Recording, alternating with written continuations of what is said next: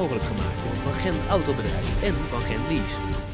De Van Gent finale weken zijn vanavond aangekomen op Sportpark Panhuis, waar Dovo het op gaat nemen tegen zondag topklasser AFC.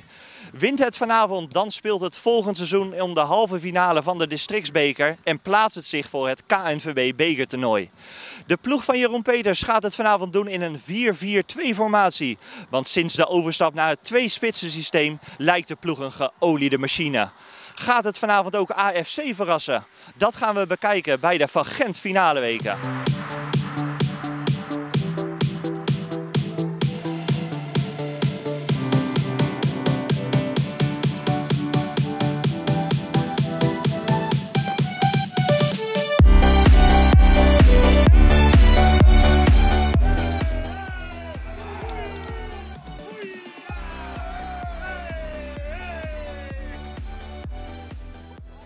De Veenendalers waren gemotiveerd om vandaag met winst het veld af te stappen. Er werd dan ook vol op de aanval gespeeld. Hier wilde de aanvaller van Dovo beloond worden met een penalty. Hier ging de scheidsrechter niet in mee, waar de leiding van Dovo echter heel anders over dacht.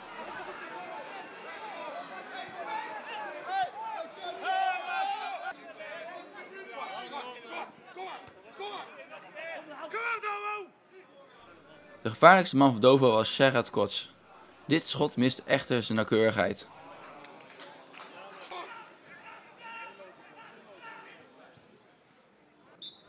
Na 45 minuten spelen wist zowel Dovo als AFC geen doelpunt te maken.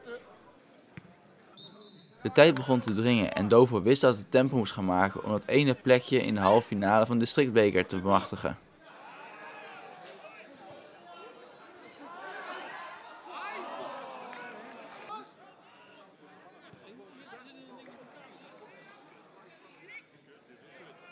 AFC probeerde via een afstandsschot de 0-1 binnen te schieten, maar ook deze bal miste zijn doel.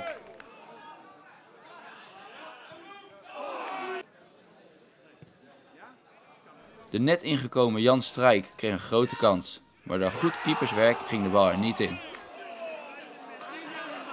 Voor de tweede keer werd Gerard Kots belemmerd in een poging tot afronden. Ook ditmaal zag de arbiter er geen penalty in.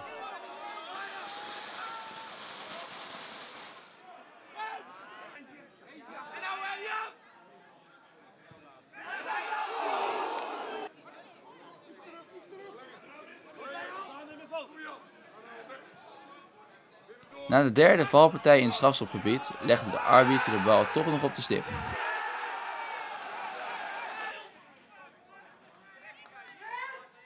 Gerard Kots greep zijn kant en schoot de penalty koelbloedig binnen.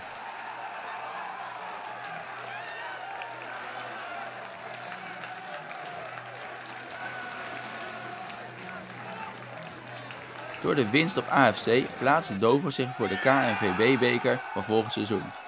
En treft in de halve finale van de districtsbeker topklasse IJsselmeervogels. Jongens, wat jullie gepresteerd hebben vandaag, wat jullie gepresteerd hebben. Dit is het beste amateurvoetbal wat er gespeeld wordt in Nederland. Fantastisch. Voetbal, passie, werken, tactisch alles uitvoeren. Dankjewel. Lekker!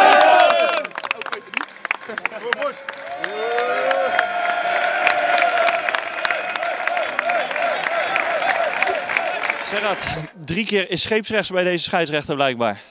Ja, klopt. Uh, ik zei na de tweede hand een keer tegen de scheidsrechter, scheidsrechter uh, drie keer scheepsrecht. En uh, ja, we hebben geluk dat we hem de laatste minuut krijgen. En dan ga je achter die bal staan. Die druk moet enorm zijn, denk ik. Ja, klopt. ik moest hem al twee keer krijgen, maar natuurlijk, ik heb, wel, ik heb wel een paar keer ook 90 minuten gekregen, maar er zat wel druk op. Maar ja, ik schoot hem gelukkig erin, dat is het belangrijkste. Jeroen Peters, hoe trots moet jij op jouw jongens zijn? Ja, hartstikke trots. De bekende uitspraak als een hond met, uh, met zeven lullen. Hè. Mag wel een keer voor de camera, hè. maar het is echt zo. Ja, ik denk dat we als team uh, echt uh, AFC denk ik, weggetikt hebben. Vind ik, ja, dat vind ik gewoon. Ik denk dat we heel goed gespeeld hebben als team. En compliment ook voor het team en de trainers. En, het was vandaag een mooie sfeer en ik denk dat we verdiend gewonnen hebben. Gerard Kort zei het al, drie keer is scheepsrecht. Jij hebt even op je tong moeten bijten bij deze scheidsrechter, denk ik. Ja, ik ken de beste man heel goed. En normale prima scheidsrechter. Vandaag, ik voor de camera, mag een keer, hè, maar vonden we wat minder. En vooral, uh, de eerste penalty, waarvan wij denken van hey, die moet hij geven aan Koch. Ja, dat was een 100%. En, en, en de tweede, oké, eh, is wat, wat discutabeler. Nou ja, 1, 2, 3 laten we er dan maar een optelsom van maken. En uh, daar kunnen wij prima mee leven. Vorig jaar tegen Odin schakelde hij over van 4-3-3 naar 4-4-2 in de na-competitie. Dit seizoen is het weer gebeurd en weer flikken jullie het. Ja, we hebben het hele seizoen lopen, lopen zoeken. En we hebben ook in de competitie gewoon in het begin ook al goed gespeeld. Alleen konden we de, de wedstrijden niet altijd over de streep heen trekken. Veel kansen. En uh, dan konden we ook nog wel eens de deksel op het neus krijgen. Ja, die fase zijn we nu doorheen. En ja, 4-4-2 op dit moment loopt hartstikke goed. We staan goed. Is voor ons het makkelijkste voetbal op dit moment. Na de winterstop werd gezegd, we moeten een serie neer gaan zetten. Deze serie stopt volgens mij niet meer op deze manier. Laten we hopen van niet. Het heeft lang geduurd. Dus het zou zonde zijn om hem, uh, om hem uh, teniet te doen en dat we hem uh, weer weggeven. Maar goed, als voetbal weet je nooit. het geloof is er op dit moment. De ploeg is super fit. Als je ziet hoe we een ploeg als AFC het veld overjagen. Met bijna overal druk zetten, 90 minuten lang. Ja, petje af voor die jongens. Knap gedaan. Stel Ajax komt hier volgend jaar. Heeft Serrat Korts dan nog het rode shirt van Dovel aan? Dat is een mooie vraag. Ik laat alles open. Ik heb nog niks concreets. Ik heb nog nergens getekend. Maar mijn ambities zijn wel om weer hoger op te spelen en betaald voetbal te spelen. En, maar ik laat alles open. Ik, zat ook, ik wist ook niet dat ik hier afgelopen half jaar zou spelen. Dus je weet nooit.